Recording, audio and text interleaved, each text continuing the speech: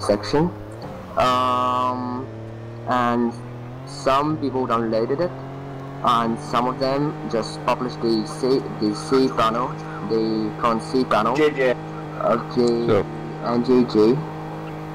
Um, the C panel of the NGG and making these fake C panels. Uh, so What up? which led to What's your email?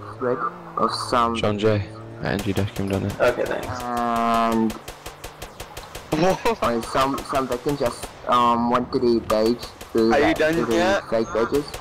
No. Um went to the fake pages. Uh the fake pages had the same domain or just near to the original one.